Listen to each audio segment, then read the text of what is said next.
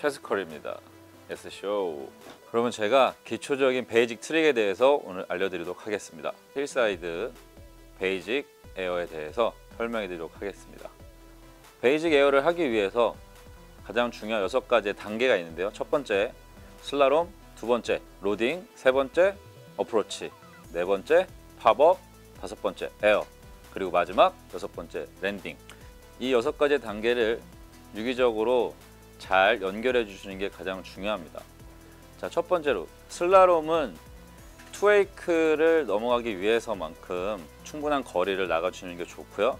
그리고 로딩할 때는 자신이 진행하게 들어가게 될 어프로치 방향의 엣지를 걸어주시고 그리고 당겨서 들어가는 것이 아니라 배가 나를 끌고 가는 그 견인의 힘으로 끌려 들어간 후에 자 어프로치 들어갈 때는 자신이 뛰는 그 방향 그리고 웨이크 부분까지 정확하게 시선을 고정시켜서 잘 보셔야 합니다.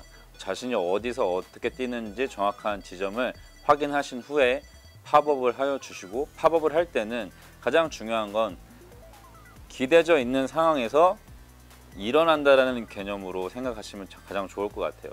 쓸데없는 동작이나 팔 동작 혹은 다리 동작으로 인해서 pop up 시에 자신의 air를 만드는 데 있어서 방해가 될 수 있기 때문에 pop up은 가장 자연스럽게 앉았다가 일어난다라는 개념으로 생각하시면 좋을 것 같고요. pop up 후에 air 동작, 즉 공중에 떠 있는 상태가 됐었을 때는 밸런스를 자, 잘 유지를 해주시고 그리고 landing 시 landing 전에 자신이 어디 어느 spot에 landing을 할지 미리 확인 후에 landing을 하는 게 중요합니다.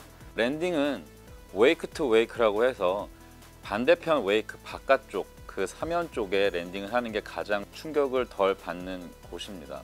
뭐 나중에 여러분들이 트릭이나 기술이 skill이 up되시면서 big scale이라든지 이렇게 flat landing을 할 수도 있는데 여러분들은 wake to wake를 먼저 자신의 무릎을 이용해서 그 landing의 충격을 적절히 흡수하시고 landing 후에 급격하게 방향 전환을 한다거나 혹은 방향 전환을 원치 않아도 데크가 주 충격에 의해서 조금 밀릴 수 있기 때문에 그 부분을 적절하게 자신의 컨트롤을 잘 하- 해주는 게 중요한 포인트가 될 것 같아요.